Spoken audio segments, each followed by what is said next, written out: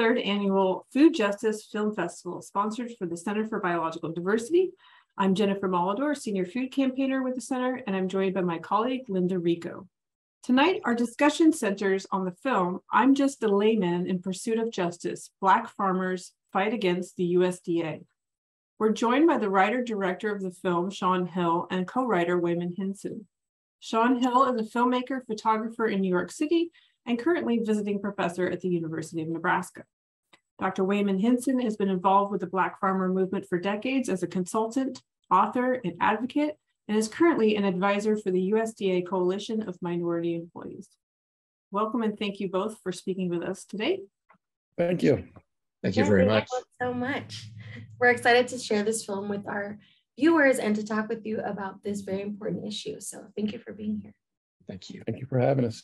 Thank you for having us. Thank you. So just as a little background, um, and, and, feel free to add to this if, if I um, step over anything, but if in 1920, there were nearly 1 million Black farmers in the US, and due to historical discrimination, now there are less than 50,000. The film, I'm Just a Layman in Pursuit of Justice, Black Farmers Fight Against the USDA, chronicles the historic injustice toward Black farmers from the US Department of Agriculture. Some have called the USDA the last plantation. In the 1990s, 15 farmers won their case against the USDA, and this film tells the story of some of those farmers' experiences with chronic injustice that changed their lives. The Black Farmers Settlement Agreement was a class action lawsuit against the USDA and DOJ, discrimination against Black Americans who applied for farm loans, and also for failing to invest this excuse me, investigate this discrimination for decades. Portion of the claims were paid, and it took years to do so.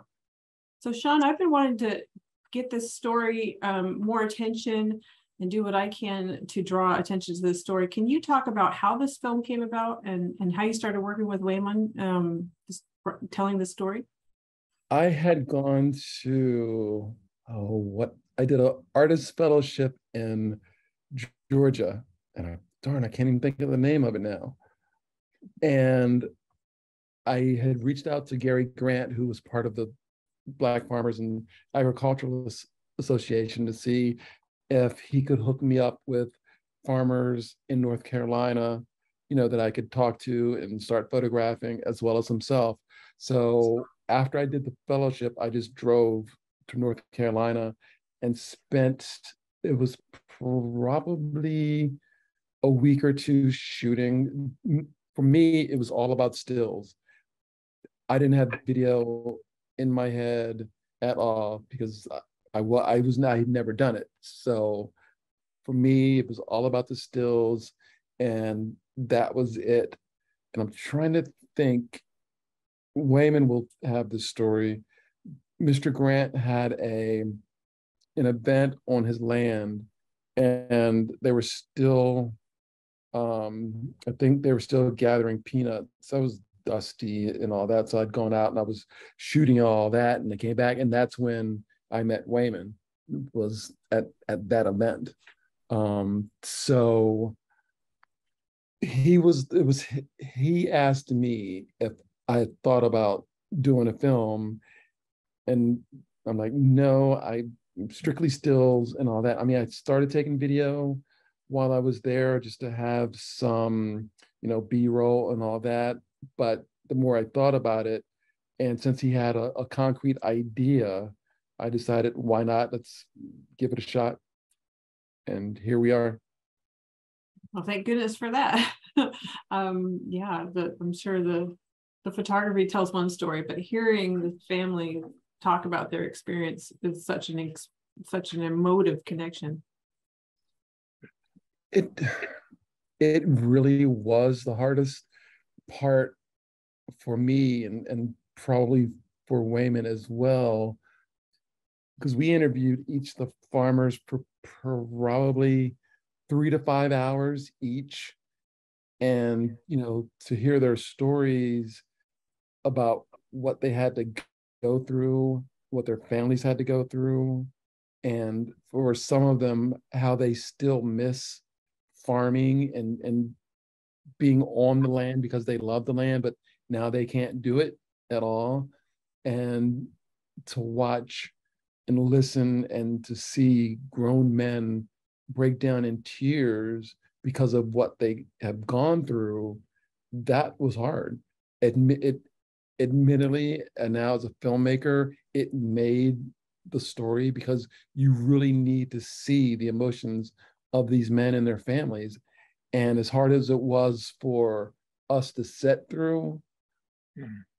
it helped to sell the story of their pain and, and suffering that they've gone through for what 20 plus years yeah it's a it was a really emotional film and i you know i personally wasn't even prepared for it really um, but it it's a wonderfully you know put together film and to hear their stories and to hear you know why um, it affected them so much and mm-hmm. um, you know what was it like for both of you when you were filming this? I mean, did you expect it to kind of go in that direction or, um, you know, how, how was that for you?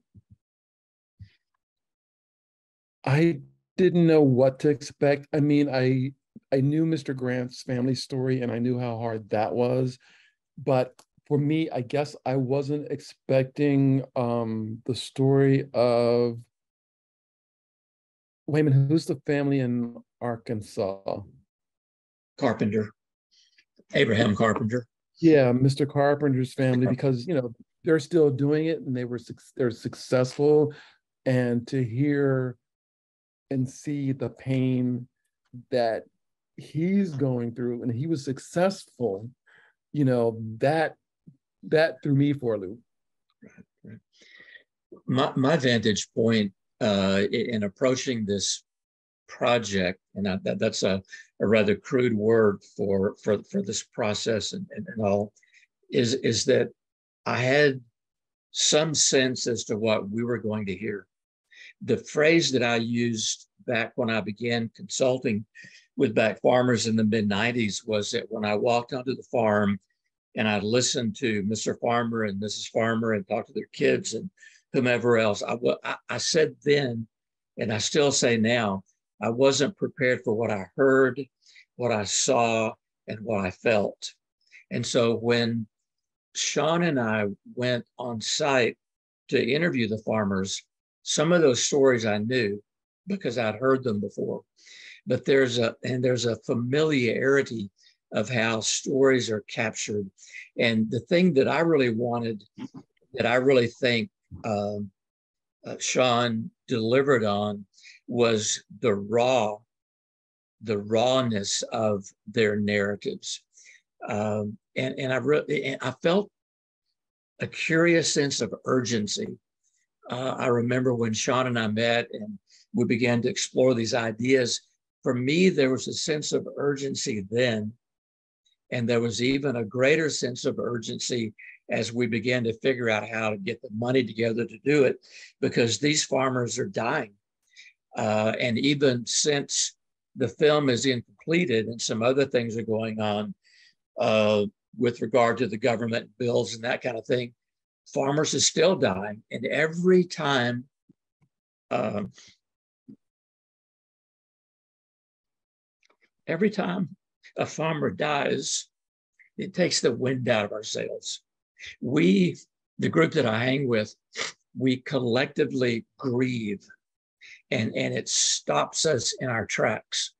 And so while that may be a little bit melodramatic, uh, it really is how many of us feel how we're driven to do the advocacy work that we do because these farmers that we interviewed back then who were a part pre-pigford and the pigford legacy farmers they're dying uh, they're dying left and right they're holding on by a slim thread hoping for justice and so we want people who see the film to get a sense of urgency and a sense of we have not ever done right by these people. We must do right by these people because these people are our people. Black farmers are our farmers. They are Americans. They're part of the living and breathing, uh, you know, thing that makes us who we are. So yeah, urgency and, and uh, that sort of thing. Yeah, you all did a really wonderful job of, you know, bringing, like how you were saying, that rawness and just that like real emotion and really um, just letting them tell their story. And um, I really appreciated that because I, I really didn't know a whole lot about that. So, um, you know, it's one of the reasons why we really wanted to show this film um, at the film, the Food Justice Film Festival. Um, one of the things that um, you all did really well in the film was showing their love of farming and their connection to the land. It's very vivid in the film. And um, just a question for both of you, you know, why is access to land and the ability to grow food such an important part of food justice? Mr. Grant had a saying because he was talking about he would be around young kids and you know and where in Tillery, North Carolina, where Mr. Grant's from, you know, a, there aren't a lot of youngsters because they don't want to come back because they they don't see as as something that they want to do, or and they don't find it, it, it exciting because you know where they are, it's out in the boonies for lack lack of a better word, and they would say to him about you know there's nothing to eat there and all that you know, there's no McDonald's, there's no Burger King and all that. So he's like, where do you think that food comes from? You know, and there was there's this huge disconnect between, you know, the fast food stuff and the supermarket stuff. They don't have a they don't have a clue, you know, that the food from the farm goes to the grocery store. That they just assume that uh, the, the fairy godmother brings the food to the supermarkets and it's just there and that's where they get it at you know? Um, young kids need to know especially you know african american kids that farming is in our blood. I mean when the slaves came over from africa quite a few of them were farmers. They were farm based most of the stuff that you know the southern landowners got and increased their crops, they got it from the slaves, you know, that they brought from Africa. So they need to know that we have that connection to the land. And it's important to hold and to keep the land. I mean, I know there are some people in on in Tillery that want to sell their lots, and once you sell your land, you're that's it. You, you don't have anything. Your family doesn't have anything even let's see, there are two farmers. Oh, which Waymon, who was in Louisiana? Um, he still has his land. He is not farming oh, it. Mr. Oh, Mr. Powell, yeah. Walter, yeah. Walter Powell. He's not farming it, um, but he's keeping it for his family. He's not doing anything with it because now he doesn't have the money to do anything with it, you know, to, to knock down the trees or whatever, but he is keeping the land for his family. So, so to some degree, owning the land is is an identity thing. Uh, I don't think it comes out in, in the film, but several of the farmers that we interviewed, if we were doing genograms with them or family tree stuff, they would be able to trace their their lineage back to days of enslavement. And so when they say things like, uh, my blood is on the soil, or uh, farming is in my DNA.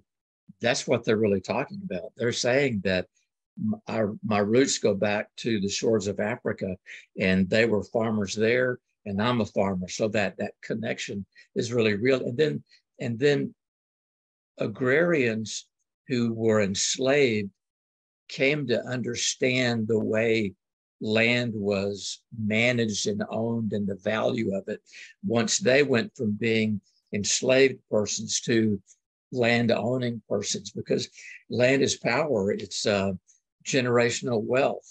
Uh, if you own a piece of land and you farm that land then that gives you the right to vote uh, at the county committee level uh, who represents you on the county committee and so on and so forth so it's power it's passing wealth on to your children, uh, and it's a strong identity sort of a thing. Yeah, so that leads me to ask my next question, which I think many people don't know. Um, in terms of, you mentioned Pigford, the um, legal case and the investigation that showed that Uh, as of 2007, only 1.5% of farms were operated by Black farmers. The ma market value of Black farms was a fraction of those of white farmers. Uh, black farmers are consistently denied loans, uh, went exclusively to white farmers, and when they did get loans, it's less than half the national loan average. So Wayman, I wanted to ask you about the work that you're doing on the USDA Coalition for Minority Employees. Like, what are you what are you working on there? What do you do? And are things changing in terms of access to land and, and support for Black farmers? Uh, yes, we're working hard. Are things changing? Uh, not as fast as we would like. The short verse is that there are four of us who are kind of the leaders of the pack, so to speak. Uh, I'm an advisor. There's an attorney uh, there's a gentleman who's the former uh, um, director of the Office of Civil Rights. There's a gentleman who worked for years in USDA. And at that point, before he retired, he was the president of the USDA coalition. So I formed kind of the fourth member of that. So we worked really, really tenaciously with staffers for Warren and Booker and Warnock and um, uh, a, bunch of others. Our work really goes back to 2019 when Senator Warren put out a brief saying that the Black land loss was primarily defined by the heirs property issue. So we wrote her a letter, got 70 groups and individuals sign on to it, says, no, with all respect, Ms. Warren, Senator Warren, it's not this, it's the, the shenanigans of the USDA. So that began some more intentional work. So that work morphed into the Justice for Black Farmers Act.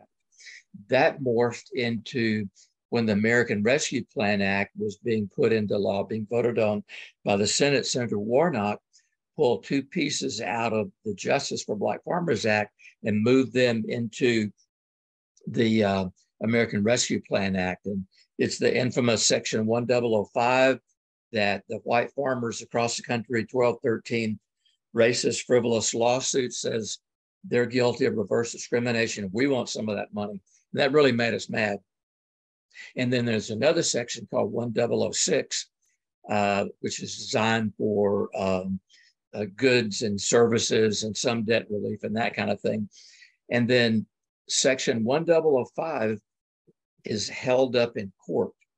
And so the current bill, uh, IRA of 2022, um, Inflation Reduction Act, there had to be some stealthy moves. The senators knew that if they put black farmers in there, if they put socially disadvantaged farmers and ranchers in there, that that was going to be a red light or, or a neon sign for those white farmers to come and attack it again. So race-based language is left out. Um, but now, so so so now there are there's there are 2.2 billion in there for uh, debt reduction uh, up to 500,000 for those who can show they have been discriminated against. So that has black farmers written all over it without being written all over it. And then there's 3.1 billion for debt relief and X, Y, and Z for at-risk farmers. And we believe that that language has black farmers and other socially disadvantaged farmers all over it. So now what we're doing is we're pushing Vilsack to move faster than he did under the American Rescue Plan Act. Again, you said earlier, uh, Jennifer, that you'd been reading my blog. There's one of my posts out there that I wrote a couple of months ago. I'm not sure when, but I accused Vilsack in two blog posts of slow walking the process. It should not take 100 days to design a process to get farmers paid off. And I'll say this very quickly and get off my high horse. But we have in our files, the four of us, in our files, documents that the uh, Farm Service Agency sent to the farmers saying, here is the amount of money that you owe on what type of loans, and here's how far in the arrears you are. And so if if the FSA can send that kind of document out to black farmers, they just as easily could send out a note saying you are now released from your indebtedness to these things. And so the money is there. We don't think Vilsack has the heart to do this. We believe that he is going to slow walk the process under the IRA that he did under the American Rescue Plan Act. And more people are going to die. There's going to be less, uh, they're going to lose their farms. There's a, there's a moratorium against foreclosures that's in effect until October. Now, we hope that gets extended, but if that doesn't get extended, some of those at risk Black farmers are going to be uh, in danger of losing their farms. So, the bottom line is that the money is there. The group that I'm affiliated with, the Justice for Black Farmers Group and the Coalition uh, of Minority Employees, we're pushing Vilsack and now this sounds really pretty ostentatious, but I'll say it anyway. One of my jobs is simply to write first drafts. One of my jobs is to help design and implement strategies. So I poured over for about three hours this morning the first draft to a letter to President Biden to the White House, calling him out for his attention in letting Vilsack get by with this nonsense. And so we'll see how that goes. Those are always reshaped by Lawrence Lucas, the leader of the band. But we're working really hard and uh, we really, really want some positive outcomes on behalf of Black farmers. Debts to be uh, canceled and money in the bank so they can get back to farming. That's what we're all about. And you if you if you do the numbers that Waymon just mentioned, it comes to maybe five to six billion dollars. The last president gave basically white farmers twelve billion dollars. So for like so for those white farmers to now put this on hold because of discrimination, when conversely three or four years ago when they got the money, they didn't say anything. That's that's the problem. Jennifer, there's another blog post out there. I'll just say this, and I really will shut up. Uh, I got really mad when these farmers started filing these lawsuits. So, with the first six litigants, I did a deep dive into the USDA data. And with the first six litigants, some of whom are right here in Texas, through uh, crop subsidies, through uh, coronavirus relief, and then Trump's failed tax, uh, failed, failed tariff war with China, through those three streams, the first six white litigants had pulled in $523,000. And the counties in which those farms and ranches are located, they had pulled in $1.2 billion. So when they come along and claim reverse discrimination against those stats that you read a moment ago about what black farmers get, that's nothing but a ball-faced lie. It, it, it's nothing but criminal what they're perpetrating upon the American people. So, if people want to learn more about the Justice for Black Farmers Act, um, it's at the blackfoodjustice.org. And then you can trace it through the American Rescue Act, as the was just talking about, into the IRA. And I just saw yesterday Vilsack boasting about how all of this money is going to go to, you know, underserved farmers and so forth. So it's really helpful for you to talk about that because he just makes claims that don't match up with reality. And just for clarity, he's the secretary of the USDA. Um, where can we find your blog and the Facebook site that I mentioned, where you talk about all these things in detail? How can people read more, follow you, support your work?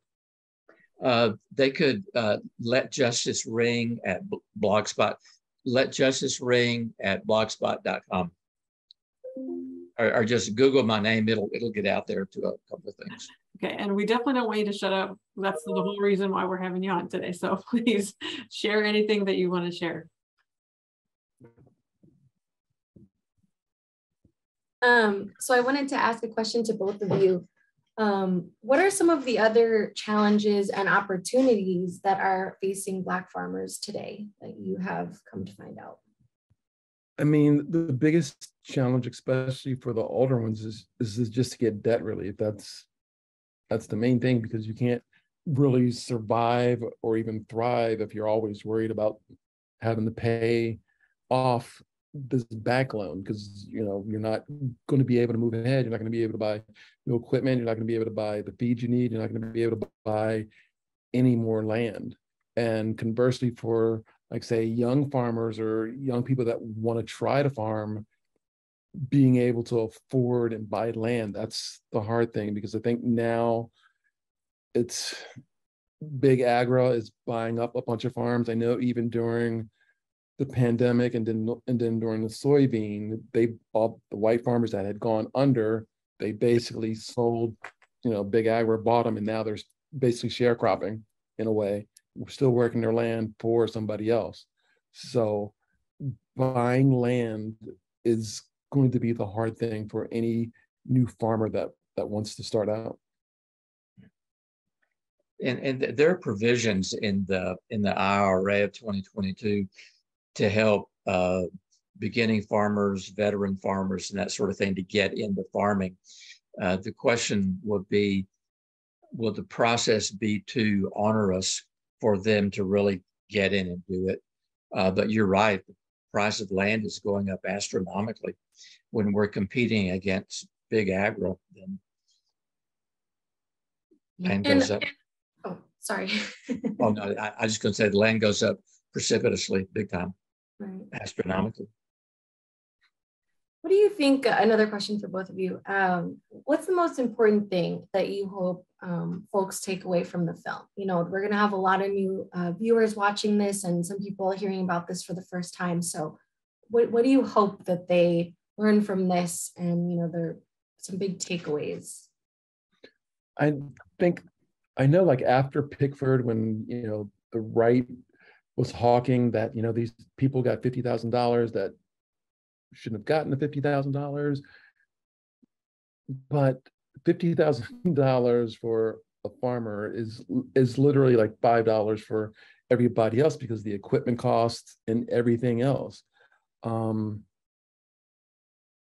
I guess I want them to realize that black farmers have not gotten have they have not gotten justice. And it's not like they aren't making these stories up. And if a white farmer anywhere in the country if they have ever screwed over a black farmer that's been near them or whatever and helped him lose his land they know that what these farm what these black farmers have gone through.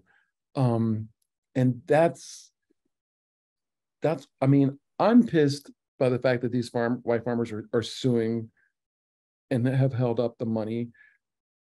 And I talked to Waymon and even Mr. Grant. I can only imagine what these farmers are actually feeling when the money was that far away and it gets yanked away. And like Waymon said, they are dying.